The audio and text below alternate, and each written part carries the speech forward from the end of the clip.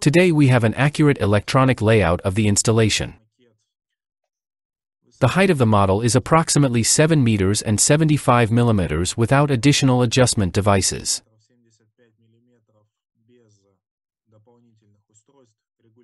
The volume is 208 liters, by rough calculation. Great, good. The installation consists of several parts. It is assembled from 2 meter pipes onto flanges. The flanges are sealed with rubber. Let's start with the fact that we have a shuttle inside the installation. It travels vertically up and down the installation. Floats in the water. The shuttle consists of several main elements. Air chamber together with power transmission unit and valves. The block looks like this. Valves installed. Fittings installed. Electrical connector installed. An air chamber is installed on this block with windows for air intake and tubes inside through which water flows to the generator set.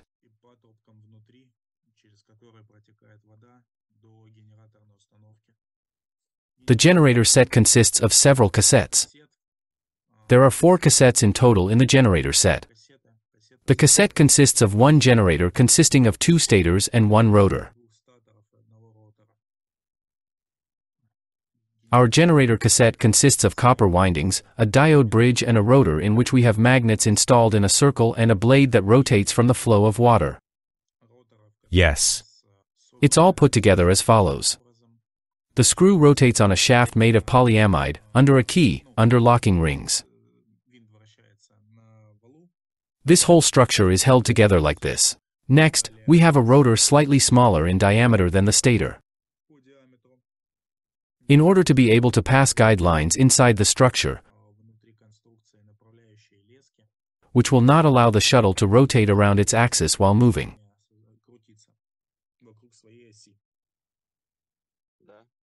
That is, it is a counter-torque guide. This means we have four guides per cassette. And on the one hand, so that the wires do not fall into the wet area, we make holes from one stator to the other and lay the wire. Two wires from diode bridge to diode bridge. And so this design is assembled one by one. Fits in the space between the coil and the wall, right? It fit, yes. Our rotor is rotating, our wires are here. Yes, he can catch them a little, but he won't tear them or scratch them, because there's nothing to catch on. What size is this hole? The hole is 4 millimeters. There is a reserve there. Quite, yes. Through the generator we have a through channel, a pipe through which water flows, and successively stages of generators with blades. By design, this area is completely isolated, that is, the water flows through the center and does not spill out anywhere. There are special adapters between the generator cassettes so that all this does not spill anywhere. The next part of the structure is the tail section. It consists of a small air pocket in which you can put an additional weight if the shuttle is too light. Weight adjustment. Next, we have a guideline running through this place. It goes through the air pocket and comes out. Here we come into contact with water. And to prevent water from filling this air pocket, there are simply rubber tubes, silicone, polyurethane, whatever. The tubes are small. They will be glued here and here, just so that the water fills this prepared channel, small, narrow, and not this air pocket. A cutout is made inside the nozzle apparatus, a 120 steel pipe, 4 millimeters, is installed there. You just need a metal part to which you can be magnetic. The shuttle can be held by a magnet as it is lowered by the flange. We have a flange here, a fishing line is tied to it, and here there are these screws for a press washer. Under this cover we have a flange and magnets are placed inside. Unusual magnets, certified magnets. Their pull-out force is 10 kilograms, that is, it will not be some kind of incomprehensible magnet. Take this one, it will give out exactly 10 kilograms per lift. You can put several of them, the grooves are made for this, 5 pieces, 50 kilograms, I think, is more than enough for such a shuttle. The magnet is 55 by 8 and 8 millimeters, that is, it is compact and very, very strong. Next we have a fitting in the pipe for filling air, a fitting at the window level. Next we have a flanged pipe connection. Repeat several times. Next we have a device at the top of the entire structure, a stopper. Stopper with installed magnets. The shuttle is approaching. The valve sense the magnetic field. The valves open. The shuttle deflates and prepares to descend. The shuttle is moving at high speed. Therefore, the structure is reinforced with metal corners to absorb impact. There are also holes made through it for passing the adjusting line.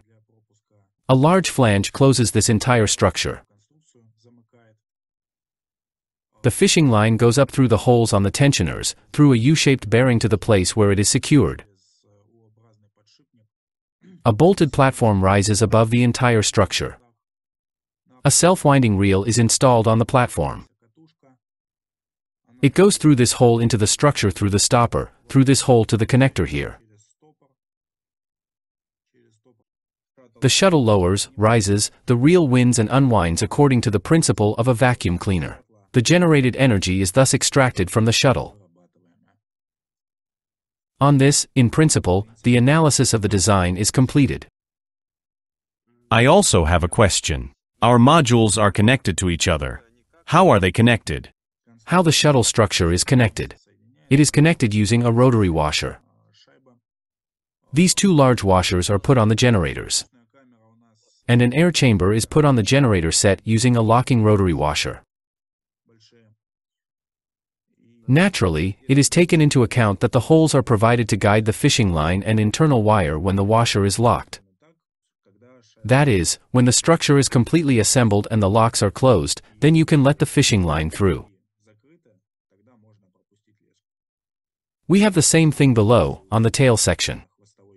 It turns out that we have modules. They are based on the same principle, right? Everything is fixed, that is, each module has such a washer, right? Not everyone. It has an air chamber. This is the front part and this is the back part. Our central part is not on modules, so installing wires is not an option. It's going to hang on the wall here. We assembled the electrical part and screwed it all onto the wall, yes. Got it, I agree. Thank you, we'll wait then. Yes, see you later.